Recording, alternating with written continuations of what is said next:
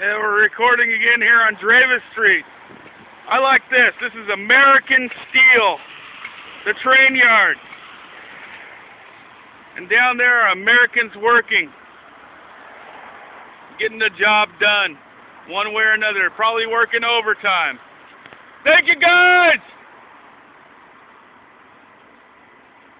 Right on!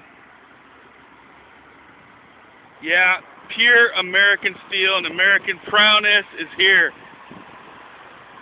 This is what it's all about. Making shit happen.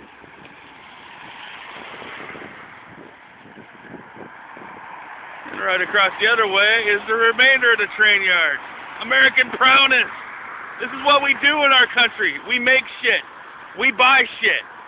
That's what we do.